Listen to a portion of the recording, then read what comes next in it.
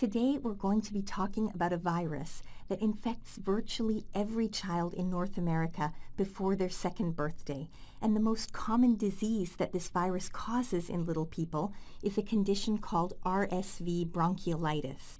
RSV, or respiratory syncytial virus, can cause a minor cold in an adult, but physicians usually see this infection when it's causing an infection of the small airways, bronchiolitis, in a child under the age of two.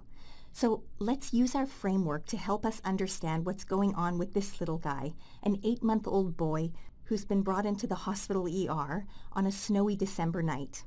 His mother is scared because he has a high fever and seems to be struggling to breathe. Because of this, he hasn't been able to sleep or feed well for the past 24 hours. You can see right away when you first meet this child that he's irritable, breathing faster than normal, and it looks like he's working pretty hard to breathe. The muscles of his neck and abdomen are clearly trying to help out. Even his nostrils are flaring, and there's clear rhinorrhea or fluid running out of his nose. The nurse in the ER has taped a monitor to his big toe to detect the amount of oxygen in his blood, and she tells you this baby's oxygen saturation is slightly below normal. When you examine him, you also hear a wheezy sound as he breathes, and you've noticed that he seems to be grunting a little bit when he breathes as well. Your preceptor tells you that given the time of year and the baby's symptoms, it's highly likely this little guy has an RSV infection. RSV is an enveloped RNA virus with two large glycoproteins, F and G, that are important for immunity and pathogenesis. The F protein is involved in fusion of the virus and host cell plasma membranes, forming the syncytia that can be seen in vitro with specific cell cultures. This explains where RSV got its name. To definitively diagnose RSV, you could ask the virology lab at the hospital to test for RSV in a swab or aspirate from the nasopharyngeal space. Because RSV doesn't usually live in or colonize healthy people, finding it in any of the respiratory secretions means the patient has the infection. From late October to early March, lots of babies are brought to the ER with these symptoms. Some of them will even die from this disease. This child's dad has also been sick, but only with a minor cold. He may have sneezed nearby and our patient breathed in the virus this is one of the reasons we see so many RSV infections during the winter months when people spend more time indoors in close quarters. Once the RSV got inside of our patient, his immune system recognized a viral invasion and deployed some chemical messengers, things like cytokines and leukotrienes, to try and protect him. And as a result, the upper respiratory tract started secreting mucus to try and stop the virus from moving further down the respiratory tract. The, the blood vessels in this area also became a bit leaky and blood flow to the upper respiratory tract increased as well so that white blood cells and other protective factors could get to the virus in the hopes of stopping it in its tracks. The extra mucus and the vasodilation in the baby's nasal passages caused the congestion and the runny nose that's making him so miserable. And the chemical messengers also caused his temperature set point to rise, giving him a fever. But unfortunately, in this case, the virus kept moving down the respiratory tract, despite the efforts of the respiratory cilia in the airways trying to beat it back upwards and also despite the increased respiratory secretions and blood flow to that area.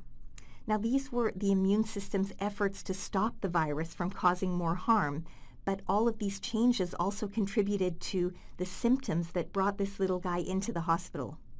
If the virus had been stopped at any of the early stages, in the nasal passages, for example, our baby would have ended up with a milder upper respiratory tract infection, or URTI, a rhinitis, a pharyngitis, or a laryngitis, depending on where the virus had stopped.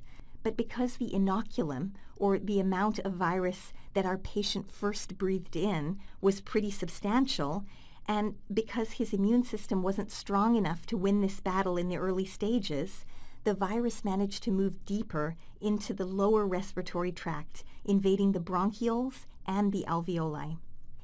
In the bronchioles, this child's immune system kept on trying to protect him, trying to prevent the virus from going any further.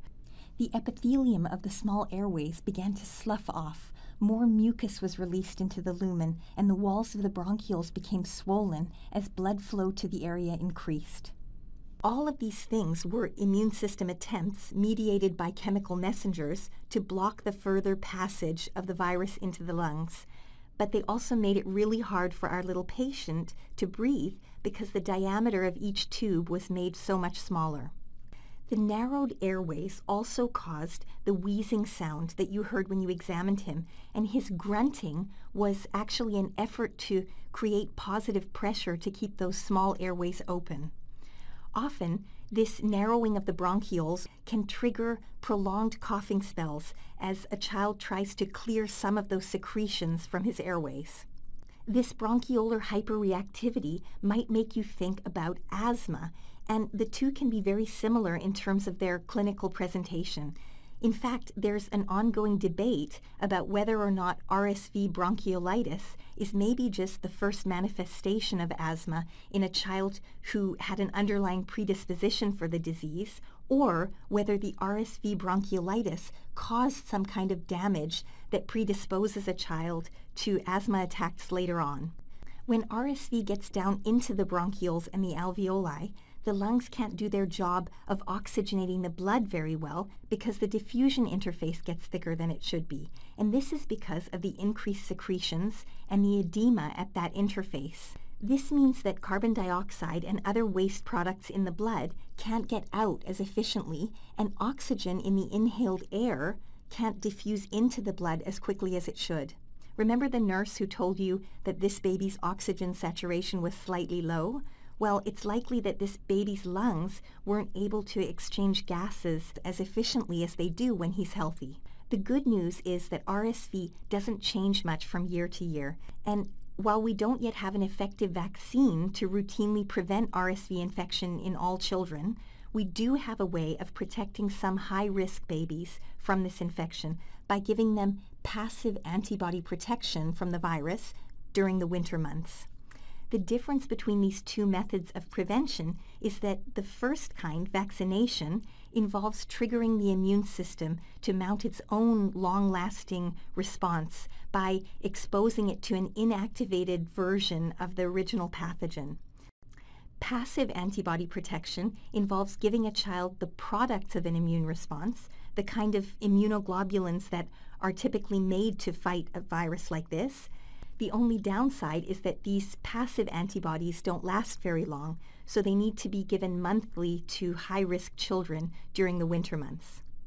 Babies who are at risk of getting really sick from an RSV infection fall into a few categories. If they were born prematurely, or if they have some degree of chronic lung disease, and that's often a result of the prematurity. If they have a form of congenital heart disease that reduces the oxygen saturation of their blood to start out with.